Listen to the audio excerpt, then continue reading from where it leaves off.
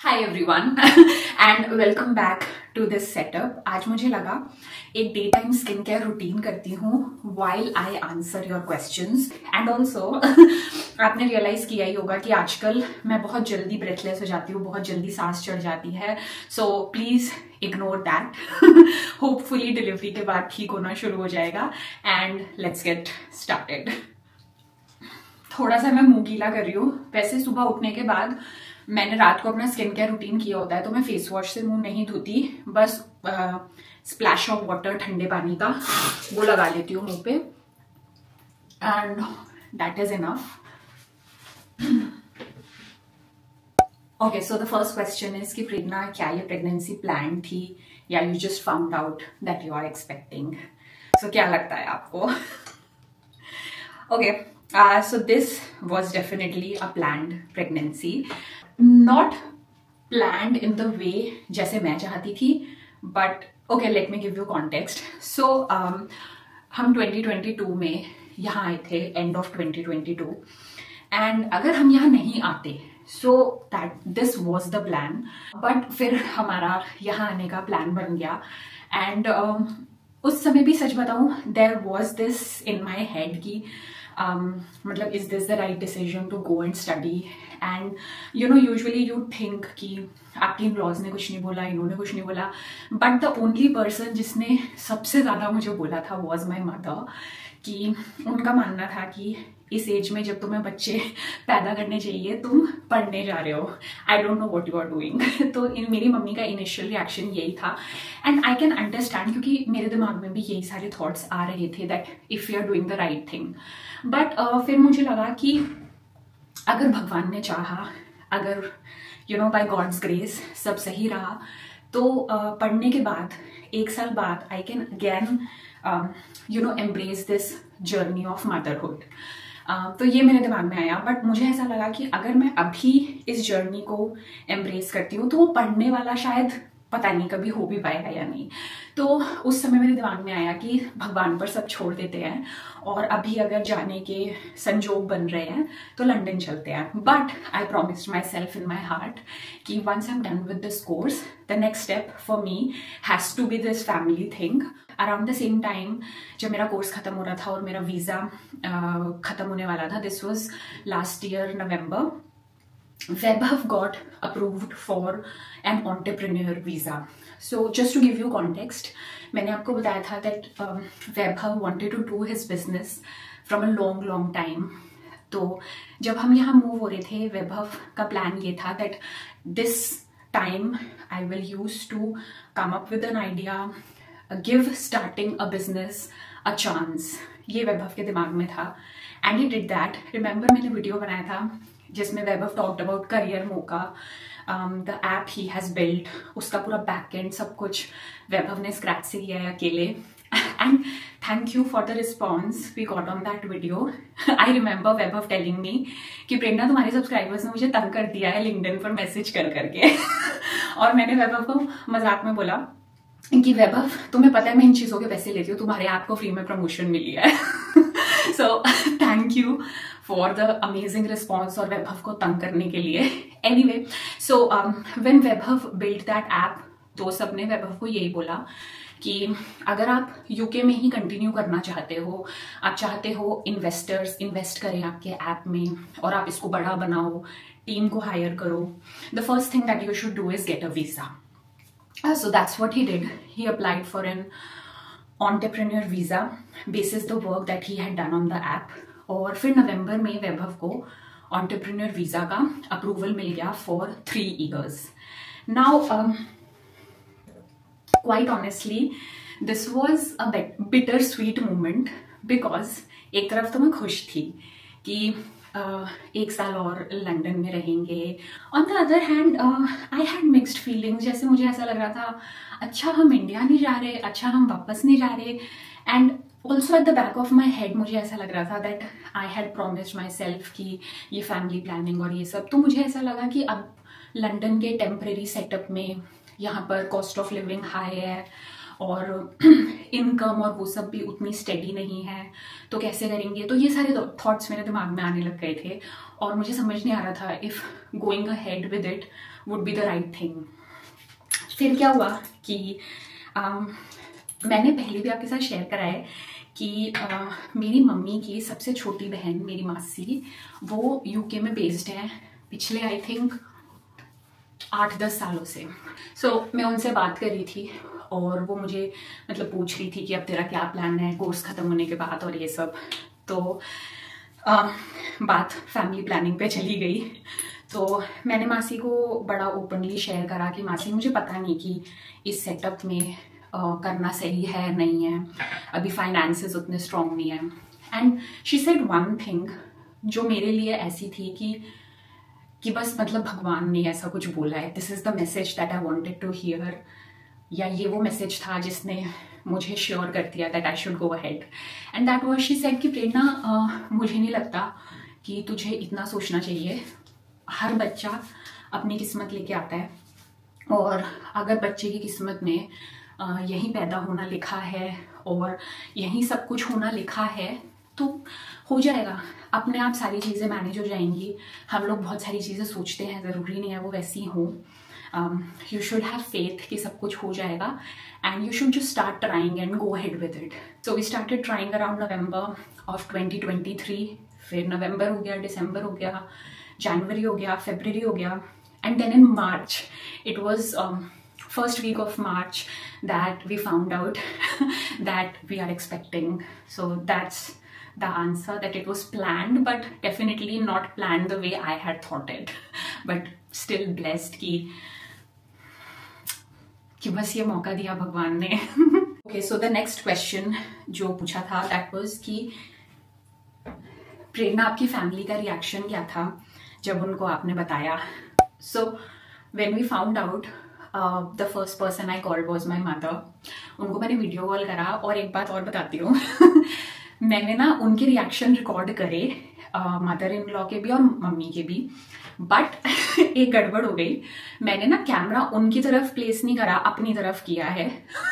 But nonetheless मैं आपको conversation सुनाऊँगी। इट्स हिलेरियस मेरी मम्मी का रिएक्शन बिल्कुल अलग था और मेरी मदर इन लॉ का बिल्कुल अलग था।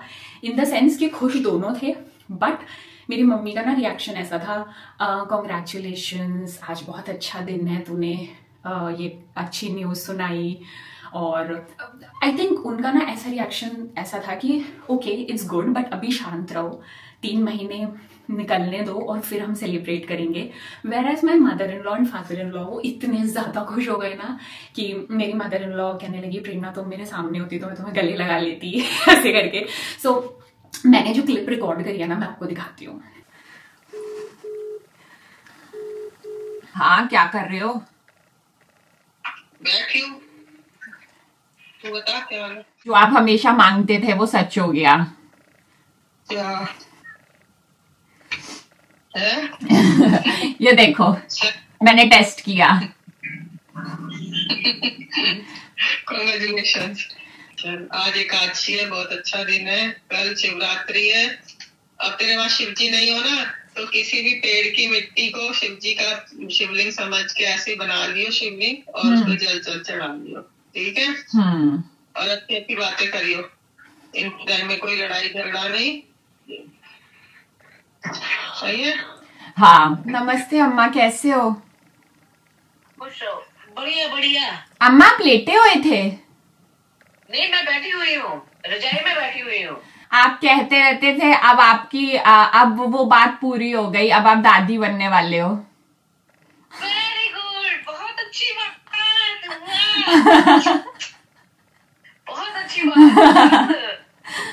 बहुत खुशी हुई अगर तुम अभी ज़ोर coming on to the next question. This was regarding finances. कि आप फाइनेंसेस कैसे मैनेज कर रहे हो? What is Vaibhav doing in London इसलिए इससे भी रिलेटेड कुछ क्वेश्चन था. Now definitely the finances are not as strong जितने इंडिया में थे. एंड मोस्टली बिकॉज़ इंडिया में एक तो मेरा काम बहुत अलग लेवल पे चलता था। मेरी ऑडियंस इंडिया में है। जो ब्रांड्स मुझे जानते हैं, वो इंडिया में हैं। एंड सेम फॉर वैभव क्योंकि he is on this journey of an entrepreneur तो शुरू शुरू में जब आप बिज़नेस शुरू करते हो तो उतार चढ़ाव चलते रहते हैं। आपको भी नहीं पता होता कि कैसा जाएगा, कुछ इसका बन भी पाएगा, नहीं बन पाएगा। सो डेफिनेटली फाइनेंसेस उतने स्ट्रॉन्ग नहीं है बट उतने हैं कि हम अपना यहाँ पर कॉस्ट ऑफ़ लिविंग निकाल पा रहे हैं। That is a good thing आपको याद है जब मैंने अपना बिज़नेस स्टार्ट किया था?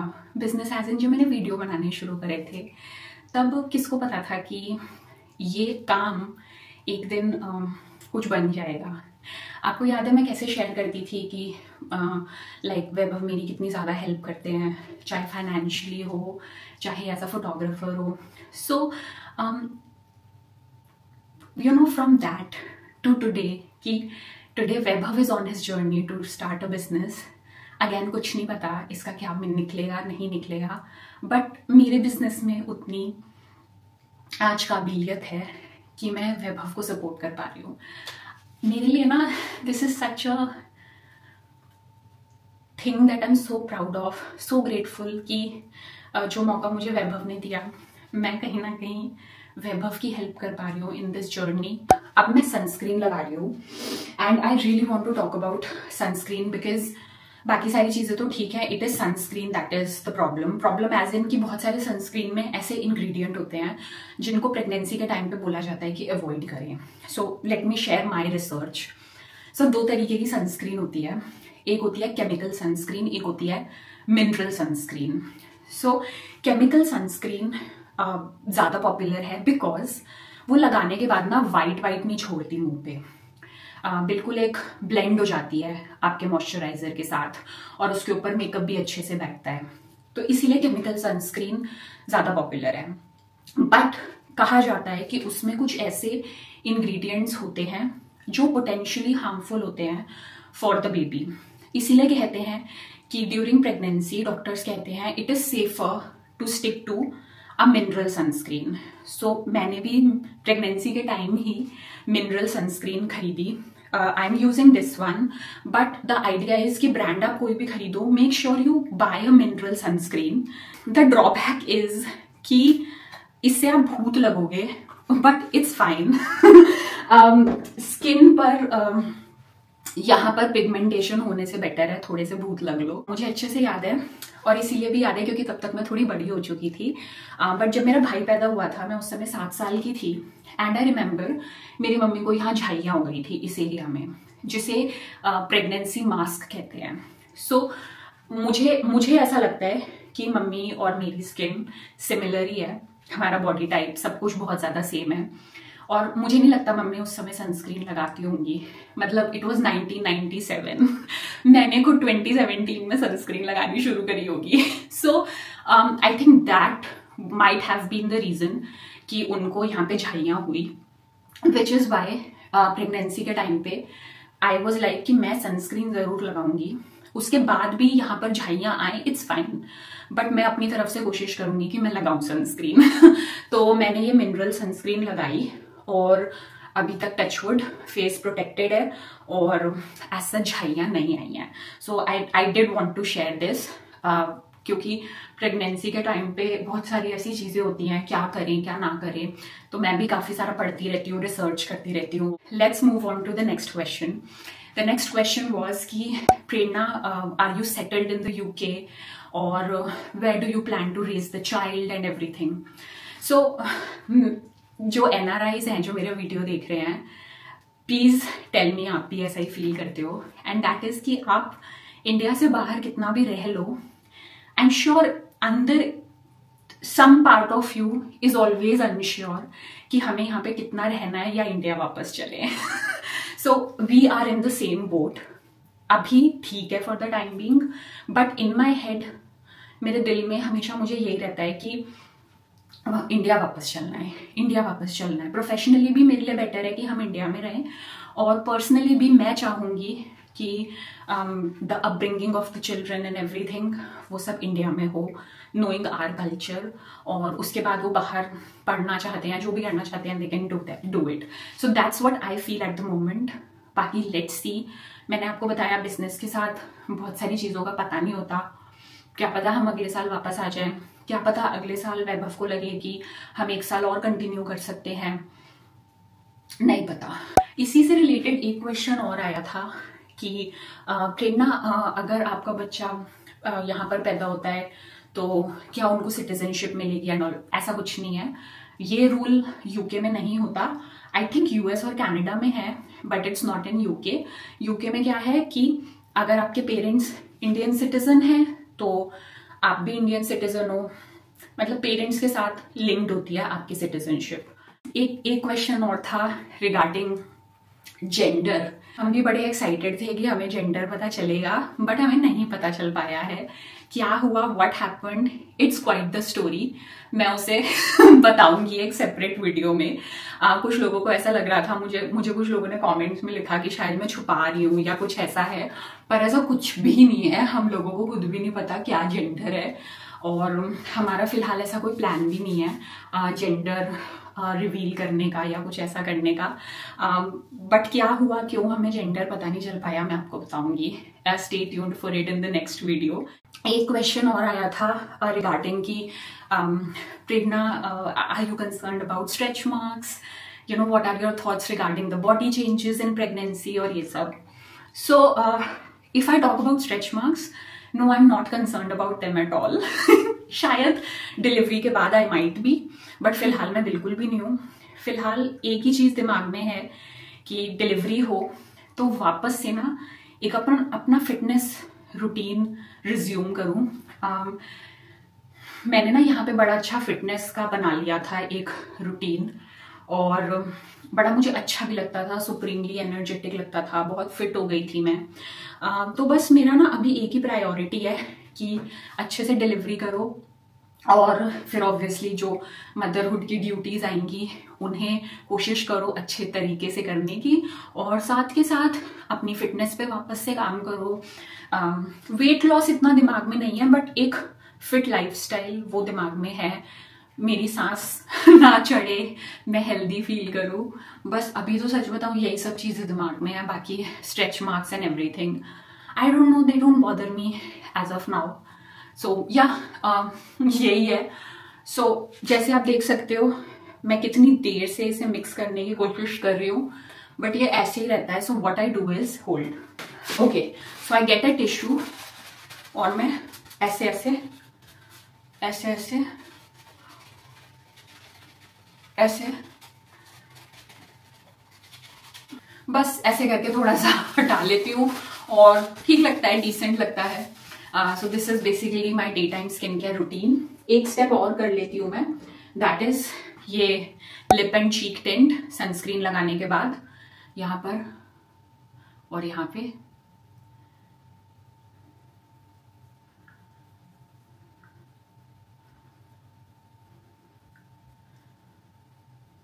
एंड आई एम रेडी मुझे लगा थोड़ा सा बाल बाल ठीक करके एक फाइनल लुक दिखाती हूँ आपको। And this is what I do if if if you're pregnant and you're watching my video, the only thing i will suggest is कि मिनरल सनस्क्रीन यूज़ करना।